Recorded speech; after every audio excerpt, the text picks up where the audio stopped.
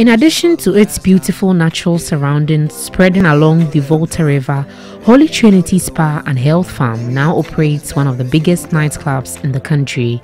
The destination sits about 100 meters offshore on the Volta River, offering residents as well as tourists a whole new nightlife experience.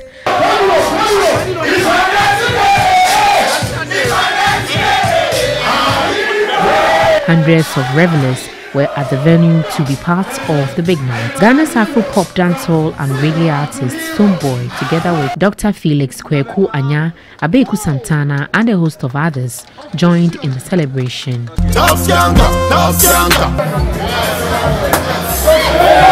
Stonebwoy and the Queen of Bhim Nation OV's thrilling performance was the climax of the night.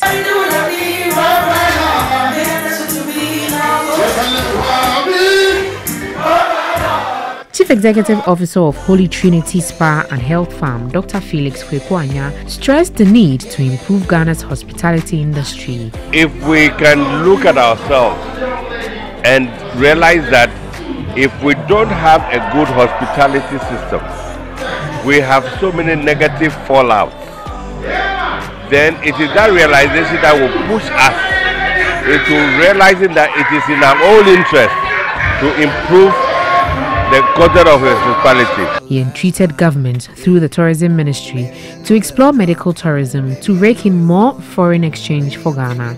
If we can only look at how the structure of medical tourism can operate within the context of hospitality and medical tourism, we would have been able to gain so much foreign exchange that our roads, our sanitation, our salary payments in, in various areas will not be a problem. Radio presenter and tourism ambassador Gilbert Abeku Aggrey, popularly known as Abeku Santana, lauded the CEO for his immense contribution towards improving the hospitality industry. It's a quality entertainment, a nightclub and a lounge on the river is exceptional. There's none like this on the Volta River.